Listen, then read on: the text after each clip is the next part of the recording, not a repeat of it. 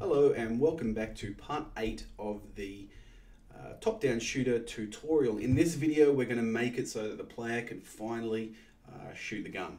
Okay, so we've got that screen shake happening, we've made all the scenes that are associated with it, this bullet case and this tracer fire, and now we're going to make it so that the um, player can hold it down and this tracer fire actually comes out.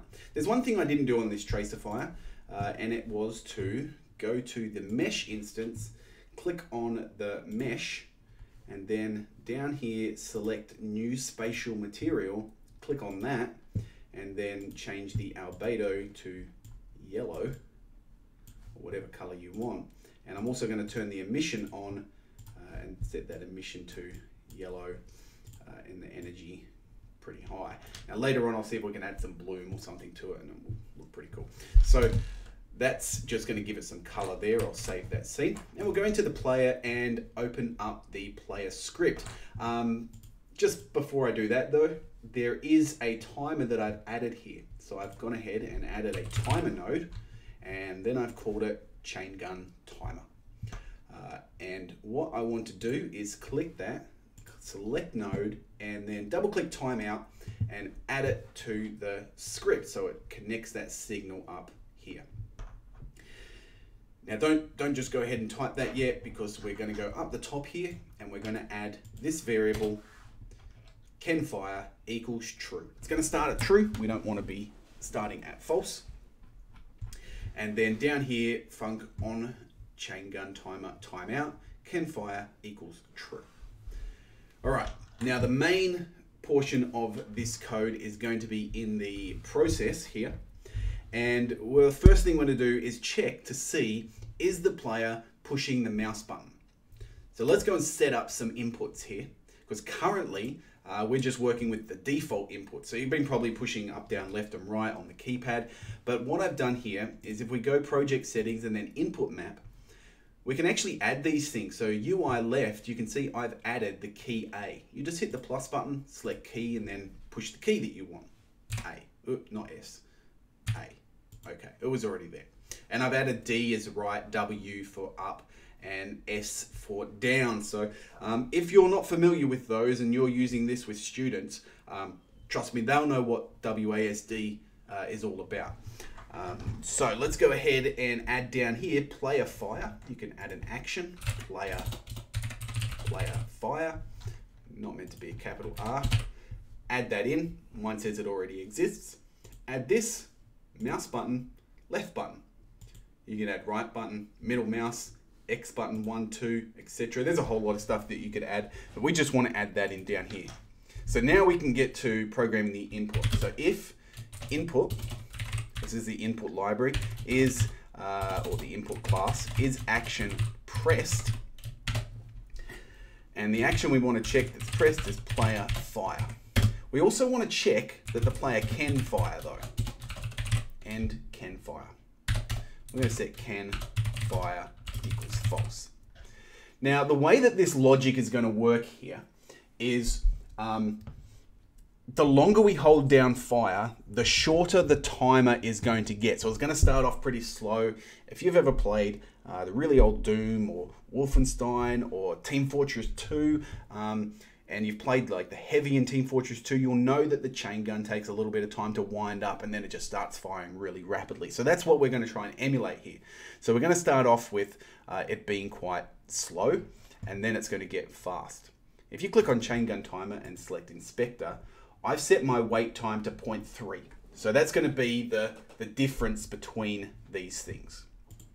Okay, so let's go ahead. I've also turned off auto start and turned off one shot. I think the default is off for those anyway. Um, but let's go ahead and add in the shells or the cases, sorry, and the um, tracer fire itself. So we're going to say variable new case equals, oh, and at the top here, we do need to add some other code. So let's just delete that. I forgot about this part. On ready var tracer equals preload and then the name of the resource. I called mine tracerfire.tscn from the previous one. And we're also going to locate load uh, the scenes bullet case. Now, these I saved into the scenes folder. If you save them somewhere else, you'll have to have the, the you know, the folder here. So that's scenes and um, where have we got it here? Tracer fire, bullet case. No, that's, there it is. There's the TSCN bit. So that's going to load those before the scene is loaded, but when this object is kind of loaded into memory. And so we can use those um, again. So tracer is going to refer to our tracer fire, case is going to refer to a bullet case, and we can instance these in here. So let's close that script up there. So in here, variable new case equals case.instance. So we create an instance of the case, store it in memory, and refer to it by new case. And then we're going to set its position, new case.global transform. Transform refers to the position of an object in 3D space. This is kind of computer graphic stuff. Um, it has an X, Y, and Z translation. It also has a scale X, Y, and Z, and it has a rotation. We're just going to assign it to the position 3D equals dollar sign position 3D dot global transform. Okay, now global transform refers to the global position of it in the world space, not the local position of it in this here. If we just said global transform, it would put it to the player's global transform. If we said position.3d.get transform, um, it would put it to the position.3d transform relative to the player. It, would, it wouldn't work. Essentially, we need to get where it is exactly in 3D. So we can do that like that. And then we're going to add it to the tree. Get parent dot add child, and we're going to add in the new case. Now what's going to happen here, what's happening here, we create the case instance and store it, a pointer to it here. Then we can use that pointer to change its position. It hasn't actually loaded into the scene yet. Then we can add it to the tree, the node tree up here. Now, what is get parent? Get parent says, well, where is the player located? Let's go back here, it's here. What is the parent? Level. Then we can add child to that. So it's gonna become one of these things down here. All right, that's gonna be the first part. We now need to add the tracer which is gonna be the exact same thing. So I'm just gonna grab that and, except I'm gonna call it new tracer equals tracer.instance, new tracer equals dot global transform equals position dot 3d dot transform. Um, get parent dot add child new tracer. Okay now reset timer. So in here um, or change timer not reset timer we're going to change the timer. So it gets a little bit smaller. So we're going to go dollar sign chain gun chain gun timer. What does the dollar sign do? Okay, the dollar sign, what that does, if I go back to my player script here, the dollar sign will say, okay, it's a it's like a shortcut for get node or get child. Um, so we could type get node chain gun timer, but you can just type dollar sign chain gun timer and it will refer to uh, this here. Uh, it, it's quite handy because getting uh, different components in something like Unity is, is a little bit difficult. Um, I mean, it's not it's not too hard, but it's it's a bit frustrating and it makes your code a little bit less readable. But this makes it very readable. All we're doing is referring to the child object by the name of chain gun timer, and we're going to say dot uh, set wait time, and we're going. So I don't know what happened there. And we're going to set it to uh, the current time minus about a few milliseconds, I guess. Uh, so let's go chain gun timer dot get wait time minus 0.05. Now, how do I know what all these things are? Okay, if I click on, I'll hold control and load this up here. Class timer, this is a timer. It has all these methods associated with it. We can say start, stop, is it stopped? That's gonna be true or false. Um, we can set the wait time. That's what I've done. But if I click on this, this is a float and Godot uses setters and getters. So we can actually set the wait time with a value or we can get the wait time. You can access it just like this, but it is better practice to access it through the setters and getters. Um, sometimes you will get, I found errors when trying to change it in here. So we do it through the setter and the getter. So I've set wait time, get wait time. Going back to the script, which is here. Oh, it's here, movement. Probably not the best name for it since it deals with a little bit more than movement, but it's okay. So we're gonna set that to chain gun timer is set wait time to the current time minus 0.05. Uh, remember it's set to 0.3 at the moment. So it's gonna take a few kind of cycles before it gets a little bit faster. And then chain gun timer uh, dot start will start that timer, which means it's gonna go down here. When it times out, we're gonna set it back to true. Now we need another if statement here. You might think, well, why don't I just use an else? The reason why will make sense in a sec. Input dot is action press. So I'm saying is not action pressed player fire.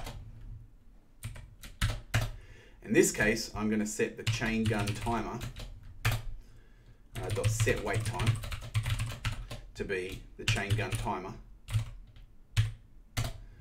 dot get wait time plus 0.2. I might actually make that 0.1. And then we're going to have an if statement. If chain gun timer dot get wait time is greater than 0.3 then chain gun timer dot set wait time 0.3 now what's this doing um, if we go in here, if not import, you might think, why don't I just put an else statement there? The reason why is I only want it to do this if the player has lifted up the player fire button. If I just say else, it's going to do it uh, every time because even if they're holding it down, can fire is set to false and so it's going to reset that chain gun wind up time. Um, but it's only going to reset it if the player is uh, set to false oh, sorry, if they're not pushing the button. Um, in which case, I probably don't actually need this because there's no kind of timer on this. In fact, I could just say set the wait time back to 0.3 if they let go of it. Uh, so let's go ahead and see if this works now, and it should because I've already done this code. But you can see here that the chain gun works. Okay, I got the longer I hold it down, the more the screen shakes, um, and it's kind of getting more wild and out of control over there. And I've got a lot of physics objects now. Um, I've probably got close to a thousand of them, maybe more. And it's kind of slowing down a little bit. And that's what we're going to do shortly with these visibility things, is actually delete them when they leave the scene. So currently those, um, those nodes here, these are getting deleted when they when they delete the scene, when they leave the scene, or when they collide with the wall, they're gone. But we want to make these disabled or even limit the number that is on the screen. So later on we'll do that, but in the next few videos I'm going to look at creating a character. Um, and this character will be able to be used for uh, good guys, bad guys, whatever you want. Um, and we're going to do that in Blender. So if you're doing the programming in your group, you may want to uh, just kind of skip ahead a little bit, look for the next bit, or maybe start thinking about what other uh, objects you can make, maybe some power-ups, some ammo crates, and so on. Maybe consider how you could uh, implement an ammo counter. So those videos will be up shortly, uh, probably within the next week or so.